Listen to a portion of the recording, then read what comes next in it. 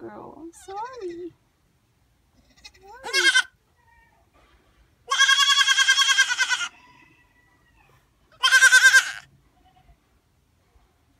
Oh, you look such a jerk.